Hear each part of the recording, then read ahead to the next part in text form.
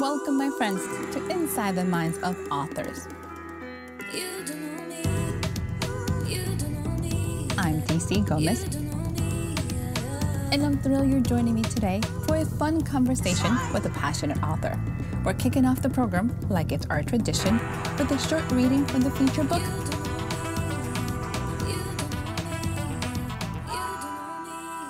I hope you guys enjoy it. Let's get started. Hello, my name is Russell Zimmerman. Most of the time I go by Rusty, but when I'm writing and publishing and all that, I go by Russell, so I sound a little bit less like someone's dog. I'm here today with an excerpt from one of my first Battletech pieces. This was in Shrapnel issue 11 from a short story called Seal the Deal. It's a story about generational industry and generational trauma and a company that's trying to make giant stompy robots. So, without further ado, I will kick it off. We're aboard the Leopard class dropship Caradwyn. Brandon sat in what had once been the Caradwyn's starboard aerofighter bay. For decades, it had been an office. It had been the office of Mountain Wolf Battlemechs and the quarters of the man who called himself president and CEO. It was his now his office, his ship, his company, his problems, his name, his time. He stared hard down at the comms gear resting before him, taking in a deep breath, letting it out slowly, and composing himself. He only wanted to do this once. He needed to focus. He needed to get it right. He had several crucial messages that needed to be sent today. These recordings would be delivered through slower, cheaper, more conventional means than Comstar and their exorbitant prices.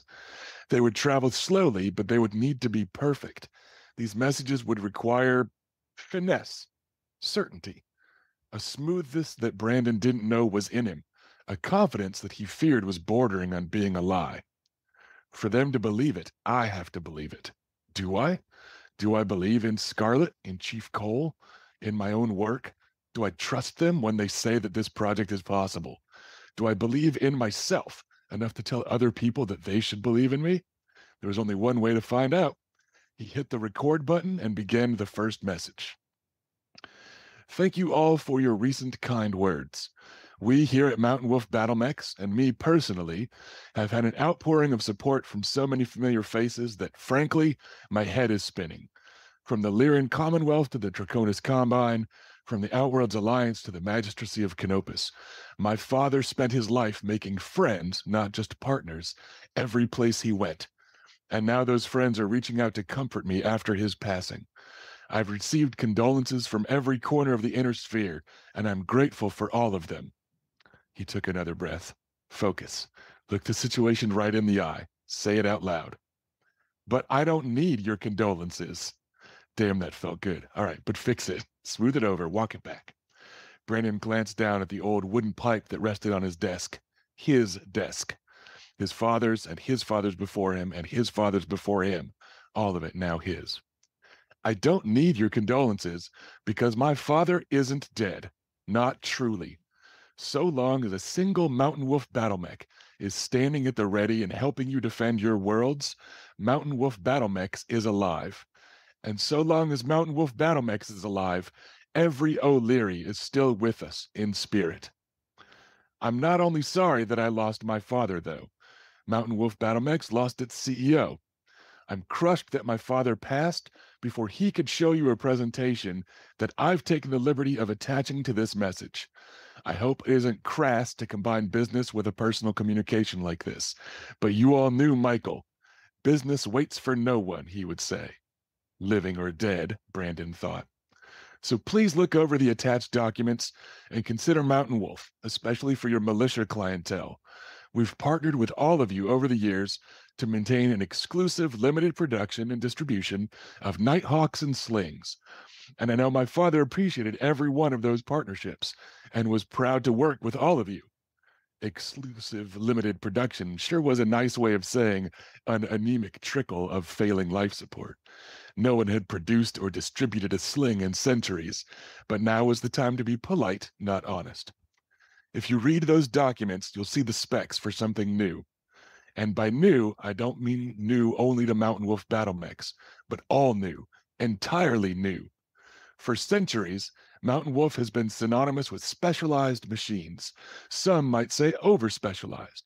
And while nothing fills the niche of a Nighthawk quite like a Nighthawk, and nothing does what a sling does just like a sling, there's one thing I've learned in all my own travels it's that over specialization isn't always needed or wanted, especially by rural militia units.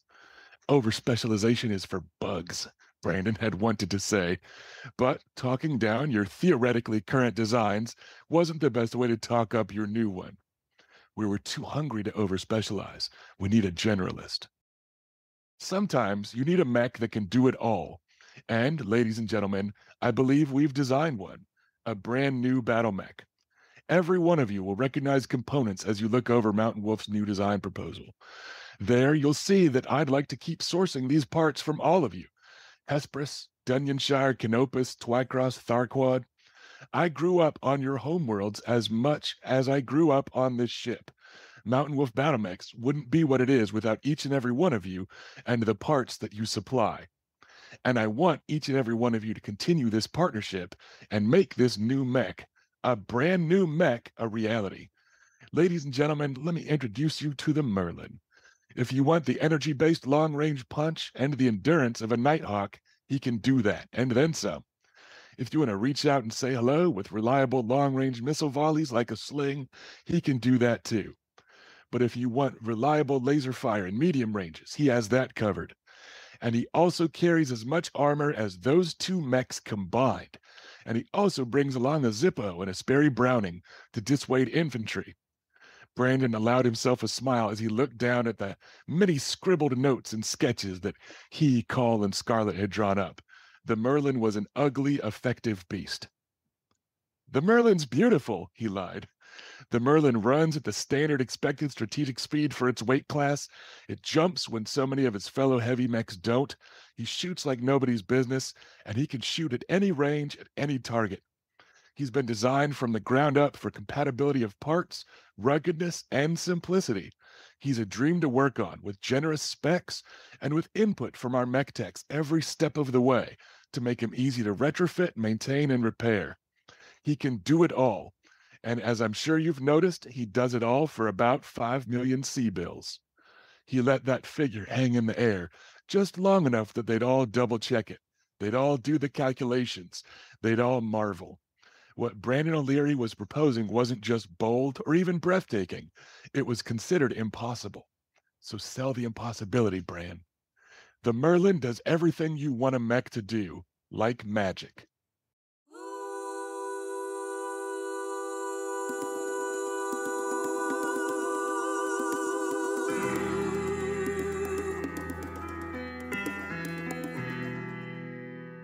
Hi, everyone, and welcome back to Inside the Minds of Authors. I am so excited you guys are joining us on this fabulous Monday. If you're new to the podcast, make sure to subscribe. You don't want to miss a single episode. We have new authors and incredible books every Monday night. So hopefully, you guys are joining us. And I'm sure you guys are enjoying that reading as much as I did because, oh my God, yes, Mr. Russell Zimmerman is here on the show and we're going to talk Battletech. So, hello, dear. Welcome. How are you? Hello, I am doing good. Thank you. It's nice to see you again just a few weeks after the convention where we met. It is such a pleasure to talk to you. It is so exciting just to kind of talk shop with you because you have such an unconventional way of getting into the publishing business. So we need to dive in. And for all the people listening, they're going, is it really him? Yes, it is. Tell us about it. How did you get into this business of writing Battletech? Because I need to know.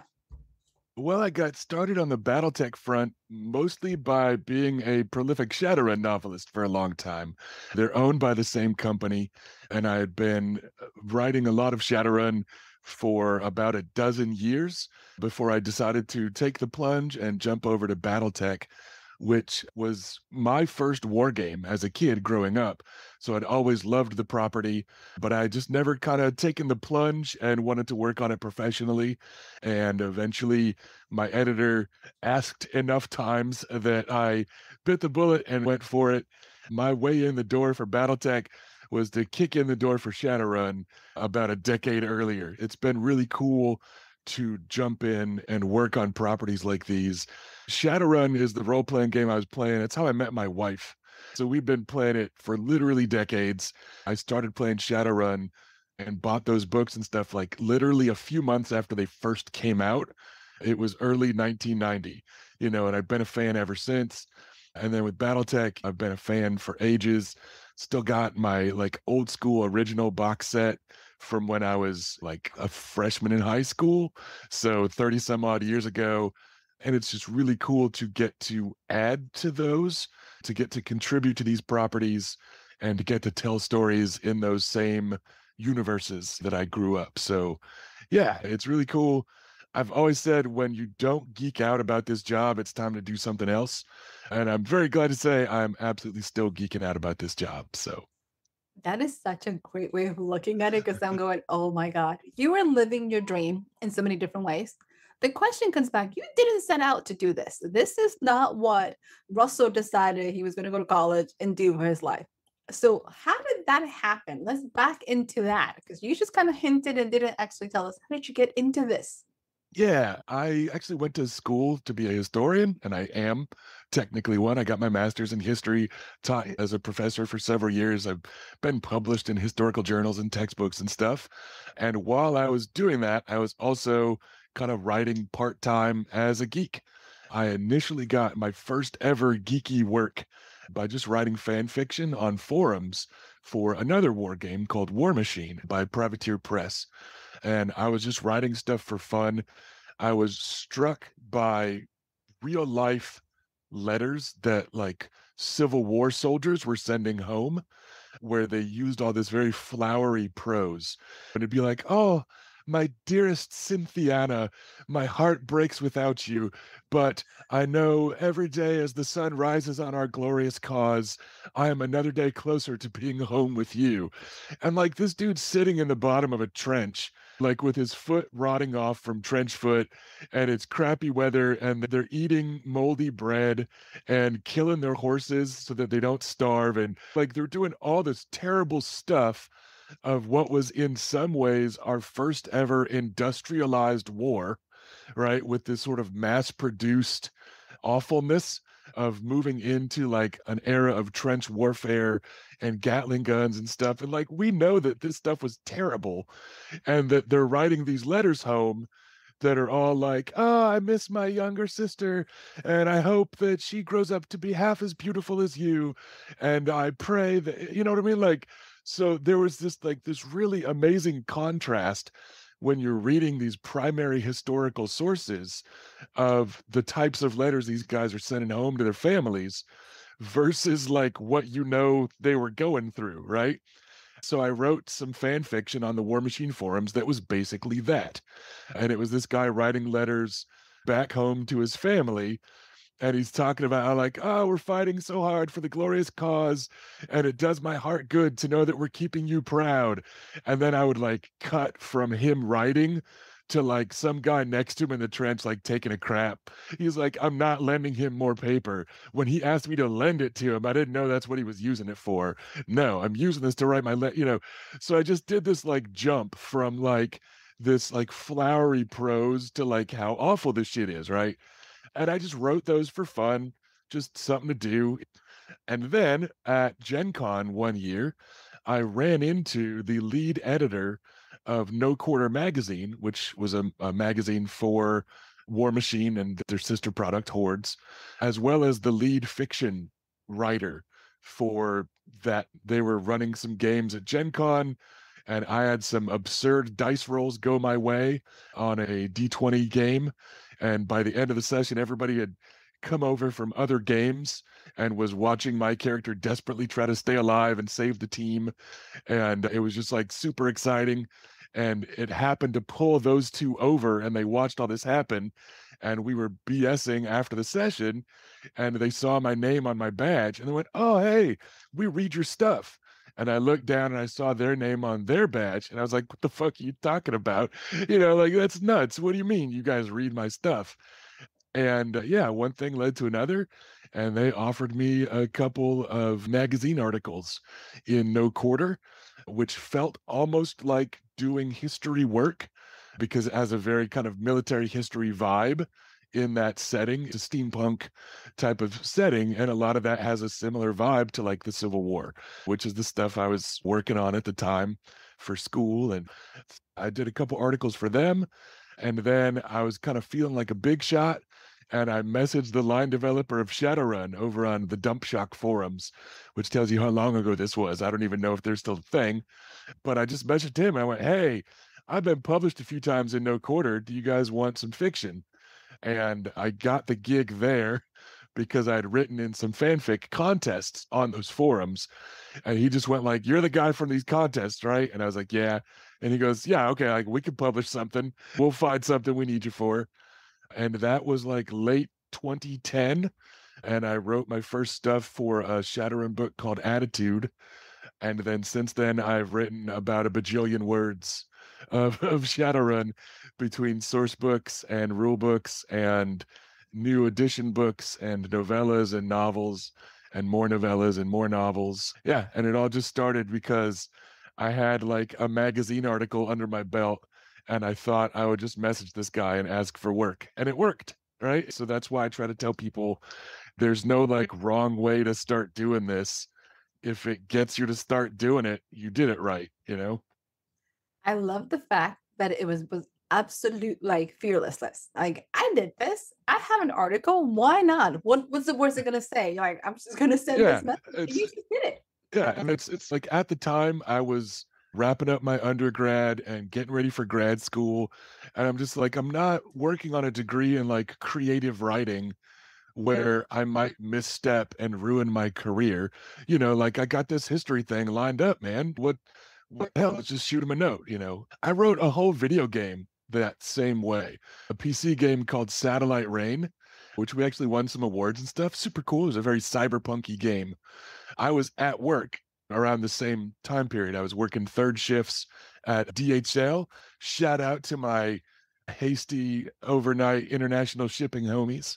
But I was working weird hours there and I saw this Kickstarter launch and I checked it out and it was this cyberpunk video game called Satellite Reign. And I was like, man, this all looks cool, but I'm going to college and it sucks. And I'm going to grad school and that's expensive. And I probably shouldn't just like back this hey, let's just do this. And I just reached out with the contact us on Kickstarter and I said, hey, I've been published in Shadowrun a few times. Do you guys need some writing done? And like that was literally, I was just thinking like maybe they want a little short fiction or something. And it turns out they were like, yeah, like we actually don't have a writer for the game. So yeah, like what's some stuff that you've done? Like they were all like the programmer, coder, graphic designer, project manager type of thing. And they were like, yeah, we were we just haven't contracted out the writing. And I ended up getting a job. And like I wrote every word of an award-winning international video game called Satellite Reign just by literally messaging them on Kickstarter and asking if I could like sing for my supper.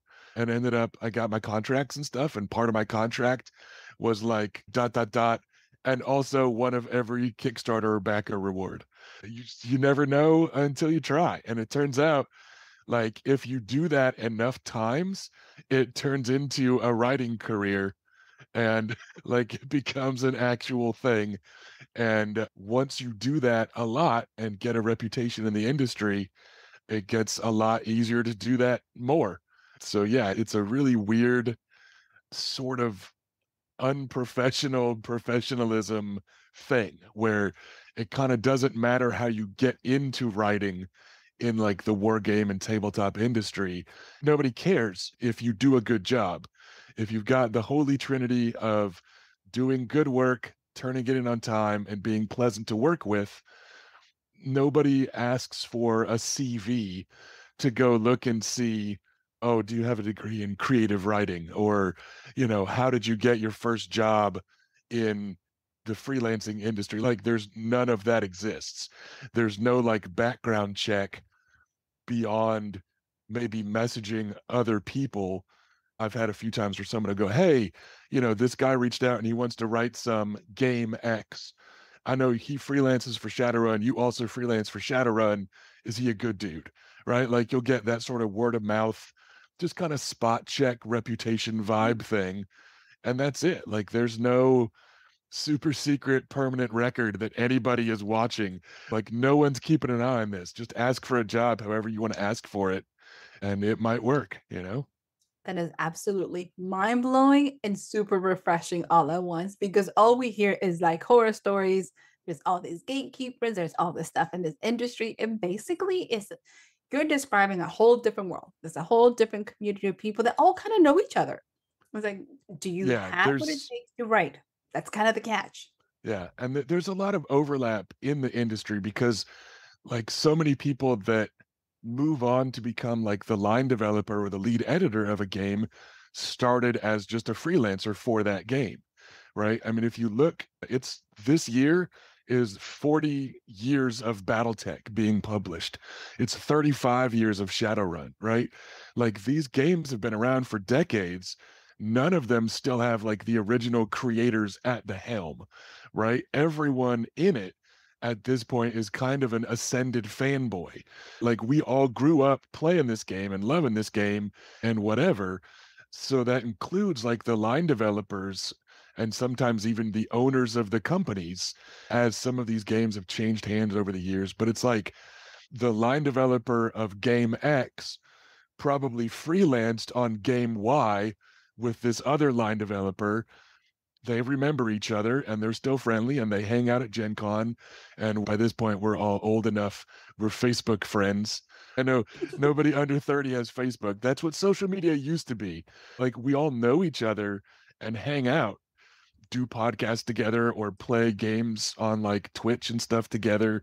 Once you kind of get your foot in the door, with again, you need that whole holy trinity. You need all three of good work and on time and don't be a dick then you're kind of set for almost as much freelance work as you can take. Like once it starts, it snowballs. I recently reached out to the Black Library, the publishers for Games Workshop. They do all the fiction for Warhammer, Age of Sigmar, the fantasy side of things, and Warhammer 40,000. And I had worked on a 40K RPG several years ago, and I had this email lying around, and I was just like, I'm getting back into 40K. I'm buying some minis. I'm painting some stuff. Man, let's see if I can get somebody to pay me money to think about 40K all this time. And I literally just emailed him and said, Hey, I worked on the RPG a little while ago. I'm not sure who's going to answer this email that's just like, it's a generic like editorial assistant like if the email is the title not the person so i'm like i don't know if you're going to be this person that i talked to or this person that i talked to or somebody new but hey, like, do you guys want some short fiction? And like, I've turned in two and I'm contracted for a novel now. Right. And that's been in like a month that that's all just happened. So it's like, yeah, the more you do it, the more you can do it. And the answer that you'll get will be something about your backlog of, of work. It's wild. It's almost a fake it till you make it, but that's just the industry norm. Like you literally just do the job and the more you do it the more people want you to do it and the more opportunities you get and yeah like it just kind of absolutely snowballs You know, I'm loving everything about, about this because it's nothing like the rest of us is trying to write novels and put them out there. When you're creating these pieces, let's put the whole logistics of writing into the whole somebody else's IP address. What are you doing? Like, how do you decide I'm going to write a short story on Battletech? Like, how much of the actual world are you pulling and how much is yours? Like, how does that come to life? right a lot of that is going to vary from product to product you need to talk to the editor first. They almost never just go, write us a short story, see you in a month, right? Especially with like a first work, there'll be a lot more back and forth and they'll want a synopsis with a decent amount of detail and there'll be some back and forth on that. And they might give you a couple of hooks and nudge you in a certain direction. The relationship that you have after working for the same editor for 14 years is wildly different because at this point I've reached a level of trust Shout out to my man John Helfers, who's the executive fiction editor for all of Catalyst Game Labs. I've literally gotten a novel greenlit with John talking to him for like two minutes face to face at a convention with like hey, I don't know exactly what characters, I don't know exactly where they're going or why, but it's going to be three or four people driving cross country in Shadowrun. It's going to be called Road Trip. Is that cool? And he's like, love it. Done. Do it. Right. And like, that's it. And because there's enough there in Shadowrun where in the cyberpunk setting, America's broken into a bunch of different countries, and he knows that there's a lot going on there, and he knows that I like my secondary characters, and he just trusts me to do the work and figure it out. Whereas working more recently with a newer editor, he said, Sure, send me a couple of ideas, like three or four ideas. And I said, Let me instead ask you a couple of things that you might need. So, like, what are some factions that you would be interested in a story about? Which for Warhammer 40,000, every faction is a giant army that then people go spend hundreds and or thousands of dollars on their toy soldiers and you invest hours and hours into painting them up and they try to put out a kind of diverse spread of fiction for each faction to keep everybody hooked and frankly to make everybody excited about those minis. So i just asked him i'm like like what are you looking for? And then i sent back three kind of paragraph long pitches two of which were things that he had asked for a third of which was me just throwing a curveball and saying like so you kind of reach a middle ground of hey what do i want to pitch? What's a story i want to tell versus what can you use? And you pitch a little bit of both and you see what happens there's just often a lot more back and forth the earlier you are in this sort of thing as far as actually doing the job i kind of tipped my hand a little when i said part of what i think our job is is to just get fans excited about these games, right? It's a lot easier in a, a very kind of tactile way in a war game. If you get somebody psyched to go buy some minis, like they could very easily go buy those minis. So, like in Battletech, a lot of what I feel like I'm trying to do is make one specific battle mech feel awesome, right? The prose that I read earlier about the Merlin, that's a mech that was the first ever sample mech created with the mech creation rules 40 some eh, okay not quite 40 years ago but it was never like an actual mech it was like just a stand-in that they used as a rules example and then later on they retconned it into existence and i've taken that mech company that only makes three mechs and it mentions all of them in the story it makes three things. That's it. And in Shrapnel, I've been telling short stories about that company and how they came to produce this mech and that sort of thing. So I just kind of found a little thing that nobody else was telling stories about. And I've kind of peed on it and made it mine and and now people are like hey if you want to know about merlins ask rusty so even over on like the subreddit or on discord if somebody asks something about like the merlin i'll get tagged and I'll show up and try to sell it to them like in character, like I'm working for Mountain Wolf. I try to find something that nobody else is talking about, basically, and I try to kind of explain it and make it into a story that people want more of and try to humanize the characters. Like in this case, I had a guy named Brandon O'Leary, and we knew that he was running the company. And then we knew that he was running the company 50 years later when they opened another factory. And that's like the only history that we really kind of had to work with on this one guy. So I was like, I'm going to tell the story of Brandon O'Leary. Like he's got to be pretty young when he takes over and this happens. I've got some more fiction coming that is actually about his granddaughter, the 50 years later part. So then you see him again as this kind of doting, spoiling grandpa. But I just like, I found a thing that wasn't really fleshed out and I fleshed it out and I got more ideas while I was doing that. And my editor liked all of them and went, Yes, awesome, good, more. And just let me kind of keep doing it. I think there's two things you want to try to do, and that's make the game awesome in an RPG tie-in fiction, probably the nicest thing anyone can say is like they'll message me on Facebook or something and go, "Hey, I'm trying to make a character like X. Like my buddy's starting up a new campaign and I want to play somebody that works like this guy." And like that's awesome, right? Like I made that archetype feel cool. I made that type of character sound neat and fun to play. Like dope. I did it. You just try to hype up the game and the game world. Make sure that you're working in what I call the game engine of that world, which is a little bit more of kind of a computer video gamey vibe, right? But like what you're doing has to make sense in that game.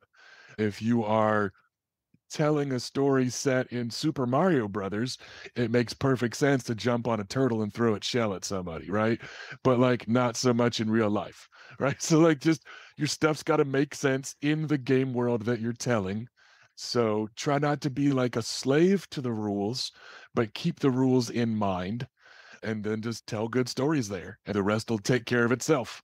So yeah, just kind of find room, find a spot that you can flesh out and then tell the best stories you can in that spot and make it feel real and lived in and have characters people care about and all that good stuff.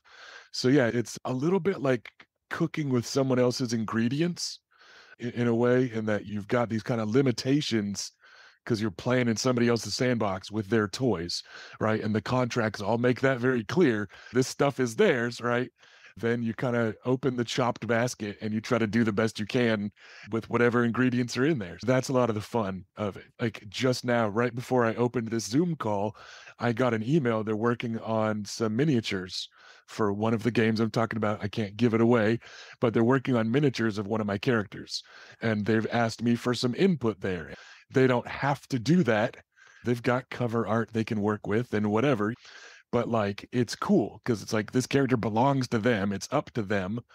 But they want to talk to me and get it right and that sort of thing. And that just kind of comes over time. Legally, it's theirs. They don't have to do it. But again, the character has become iconically mine enough that they want to do it justice. And so they reach out. So there's always that balance between the required legalities and the vibe check of the company. So that's always cool too. That is amazing and beautiful. And the fact that they reached out because you have become the voice of this character says a lot. And being able to say, hey, give me a fact check. Is it true? Am I there or am I totally off killed? I'm so excited and absolutely amazed because you have given fan fiction a whole different way of looking at it. Because I'm going, oh my God, you can make a living playing in somebody else's sandbox and do Yeah. well. Yeah. Again, it's just stuff that I was doing for fun. Eventually, I reached the point in my career uh, in academia where it was like, look, like if I want to keep doing this full time, I got to get the PhD. And that means going back to school. That means moving to where I get accepted in a doctoral program. And then that means moving to where I can find a tenure track position.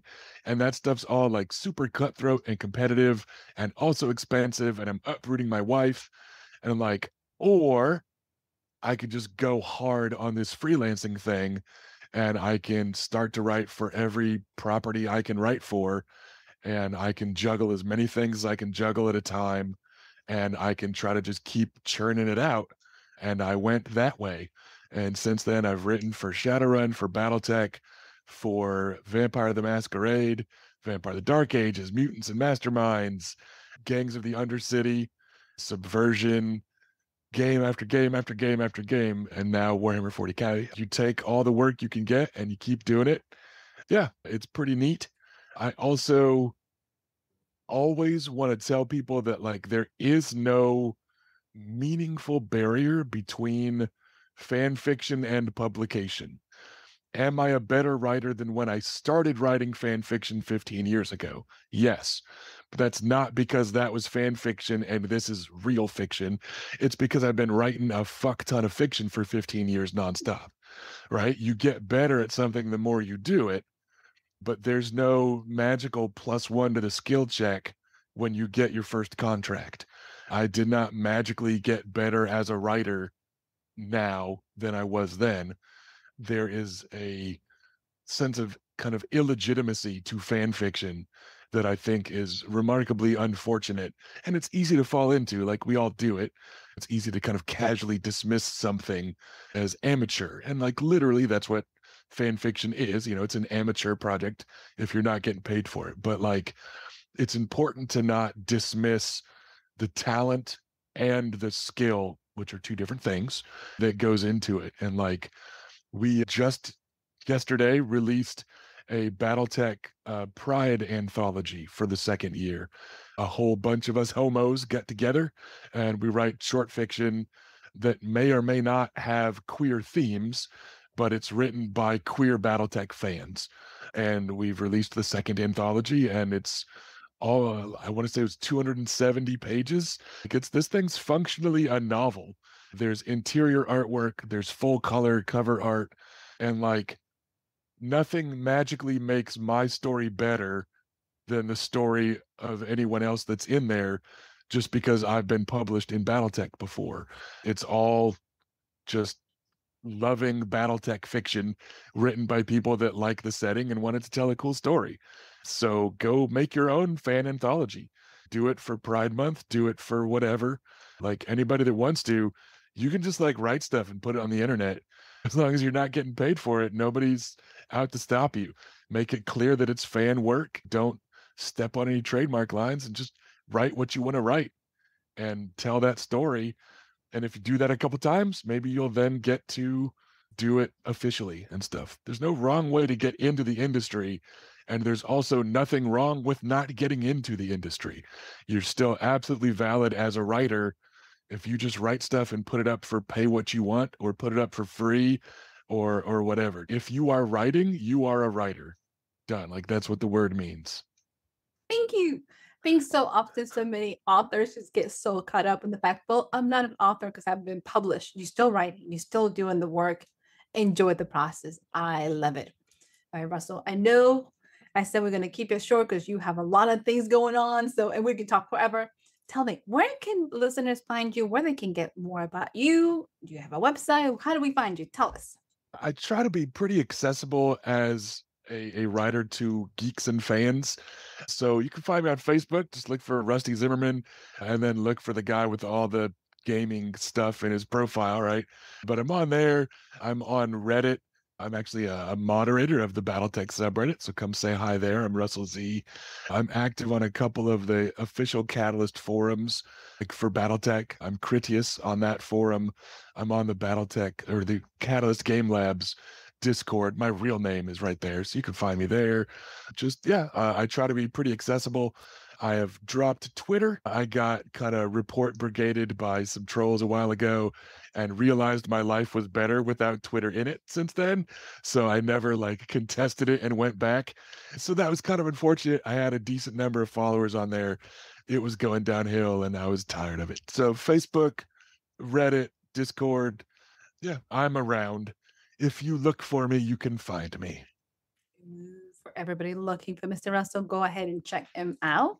And if you are a fan of any of this IPs, you need to go check him out because he's doing an amazing job bringing them to life and bringing the stories to it.